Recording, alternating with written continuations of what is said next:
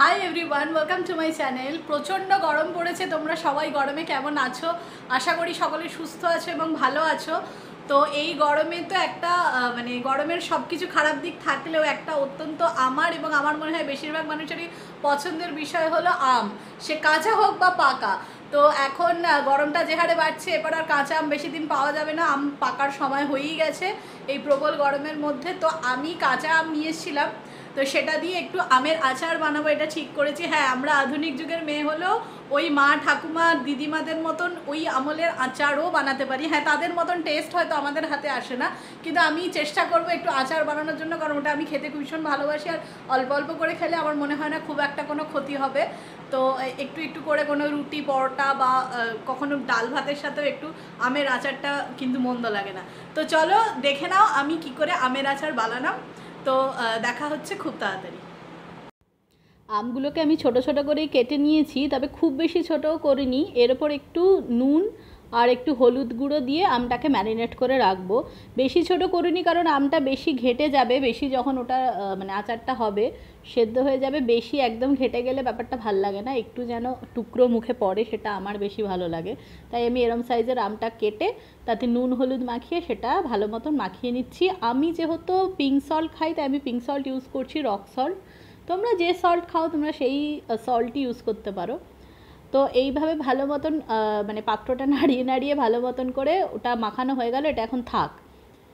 এবার একটা আমরা মশলা বানিয়ে নেব আচারের জন্য, এতে আছে পাঁচ ফোড়ন আর গোটা জিরে, ধনে আর দেবো শুকনো লঙ্কা। পাঁচ ফোড়ন মানে ওতে রয়েছে কালো জিরে, মেথি, মৌরি গোটা জিরে এবং রাঁধুনি। তার সাথে গোটা ধনে আর কয়েকটা শুকনো লঙ্কাও আমি দেবো ঝালের জন্য।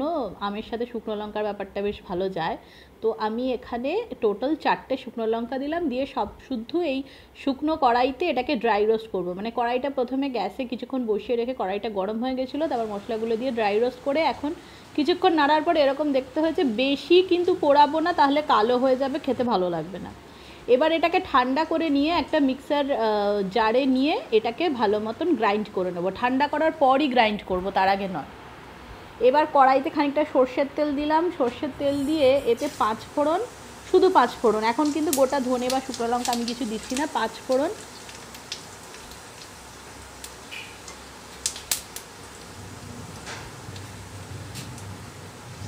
ক্র্যাকলিং সাউন্ডটা আমার সত্যি খুব ভালো লাগে। একটু যদি তেলটা ঠিক মতন গরম হয়, তাহলে এই সাউন্ডটা পাওয়া যায়।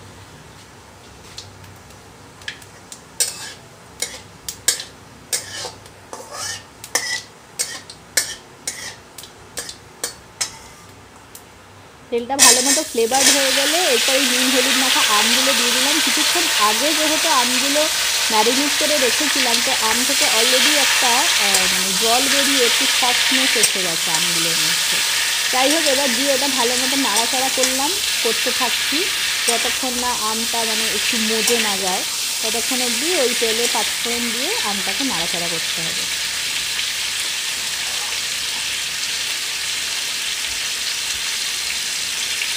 আমার একটু কালার কম লাগছিল, তাই আমি এর ভেতরে একটু কাশ্মীরি লঙ্কার গুঁড়ো দিয়ে দিলাম। এতে ঝাল তো তেমন হবে না, কিন্তু কালারটা এসে যাবে আর একটা ভালো ফ্লেভারও আসবে।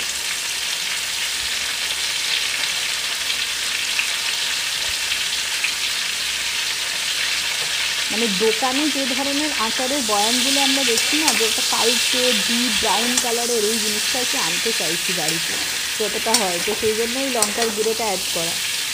তোমরা চাইলে এটাকে স্কিপও করতে পারো। দেখো, এখন বেশ আমটা অনেকটা মজে গেছে। অনেকটা সফট হয়ে এসছে সেটা দেখেই বোঝা যাচ্ছে যে আমটা বেশ কিছুটা মজে গেছে। আরও কিছুক্ষণ নাড়াচাড়া করার পর এতে এবার আমি খানিকটা জল ঢেলে দিলাম, কারণ আমটাকে সেদ্ধও হতে হবে। খুব বেশি জল না, খুব বেশি জল দেওয়ার দরকার নেই, তাও আমার একটু জলটা বেশিই পড়ে গেছে, এর চেয়ে কম জল দিলেও হয়। তো আমটাকে ভালো মতন জল দিয়ে কিছুক্ষণ ফুটতে দেবো, যাতে আমগুলো একটু হাফ অন্তত বয়েল হয়ে যায়, হাফ অন্তত সেদ্ধ হয়ে যায়।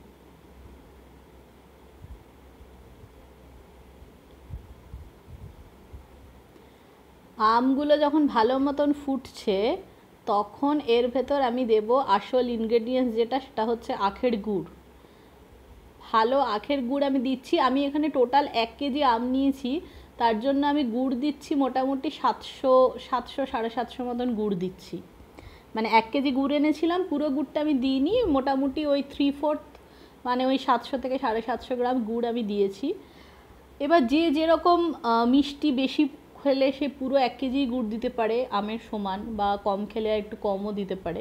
তবে আমি চিনি যেহেতু দিচ্ছি না, কেবলমাত্র গুড় দিয়েই মানে মিষ্টিটা আনছি, সেহেতু গুড়ের তো মাত্রাটা একটু বেশি লাগে কারণ গুড়ের মিষ্টত্ব চিনির থেকে কম হয়।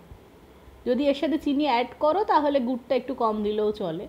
কিন্তু চিনিটা আমি এখানে অ্যাড করছি না। আমি গুড় দিয়েই করছি যাতে ওই কালচে রঙটা আসে আর এমনিও গুড় চিনির তুলনায় একটু হেলদি এবার দেখো গুড়টা পুরো মানে একদম গলে গেছে। এর মধ্যে আমি সামান্য একটু বিট লবণ যুক্ত করলাম। বিট লবণ অ্যাড করলাম। একটু তাহলে ভালো টেস্ট আসে আমের সাথে। এবার এটা পুরো গুড়টা গলে গিয়ে ওই গুড়ের সিরাপের মধ্যে আমগুলো এবার ফুটবে। ভালো মতো নাড়াচাড়া করে আমগুলোকে ফুটতে দিতে হবে যাতে মানে ওই গুড়ের শিরার ভেতর আমটা ফুটে। এই দেখেছ? পুরো আমটা কীরকম সুন্দরভাবে ফুটছে এখন। তবে মানে আম- ইটসেলফ তো যথেষ্ট টক, তো সুতরাং সেটাকে একটা, এই আচারটাকে মিষ্টি আচার করতে গেলে ভালো মতন এই মানে রসের ভেতর ফোটাতে হবে। এইভাবে ফোটাচ্ছি, ফোটাতে ফোটাতে তারপর আমি দেব হচ্ছে ওই আচারের মশলাটা, যেটা ভাজা মশলা। যে মশলাটা আমি মিক্সারে ওই বললাম ঠান্ডা করে করে রেখেছিলাম, গুঁড়ো করে রেখেছিলাম, সেই মশলাটা পুরোটাই আমি দিয়ে দিচ্ছি এর মধ্যে।